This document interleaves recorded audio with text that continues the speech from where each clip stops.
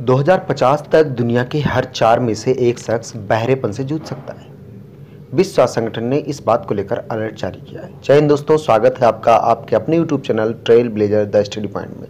आज हम एक ग्लोबल रिपोर्ट के बारे में बात करेंगे।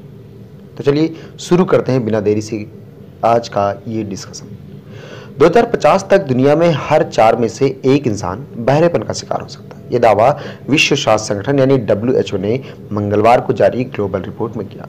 रिपोर्ट के मुताबिक 2050 तक दुनिया में बहरेपन से जूझने वालों की संख्या 250 करोड़ होगी।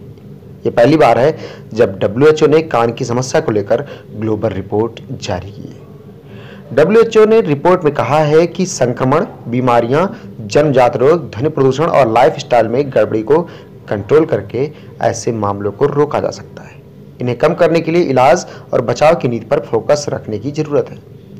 रिपोर्ट के मुताबिक वर्तमान में हर पाँच में से एक इंसान को सुनने की समस्या है। उन्नीस सौ उन्नीस में दुनिया भर में बहरेपन के मामले 160 करोड़ थे। 2050 तक 70 करोड़ को गंभीर स्थिति में इलाज की ज़रूरत हो सकती है। डब्ल्यूएचओ ने रिपोर्ट में कहा है, समय पर इलाज न मिल पाना भी बहरेपन के मामले बढ़ने की एक बड़ी वजह है। इससे 80 फ़ीसदी मामले निम्न आय वाले देशों में सामने आते हैं। संयुक्त राष्ट्र की एक रिपोर्ट कहती है, स्मार्टफ़ोन में म्यूज़िक सुनने और लगातार तेज आवाज़ के संपर्क में रहने से दुनिया भर के करीब एक अरब से ज़्यादा लोगों में बहरेपन का खतरा है। 12 से 35 वर्ष उम्र के लोग रिस्क जोन में हैं। डब्ल्यूएचओ का कहना है, सुनने की समस्या के कारण दुनिया भर में 750 मिलियन डॉलर खर्च होने का अनुमान है। डब्ल्यूएचओ की तकनीकी अधिकारी सैली चड्ढा के मुताबिक दुनिया भर के एक अरब से ज़्यादा युवाओं को स्मार्टफ़ोन पर तेज गाना सुनने में मज़ा आता है। वे इसके लिए ईयरफोन या हेडफोन का इस्तेमाल करते हैं। इससे वे बहरेपन का शिकार हो सकते हैं या उनकी सुनने की क्षमता कम हो सकती है। आज के इस वीडियो में इतना ही।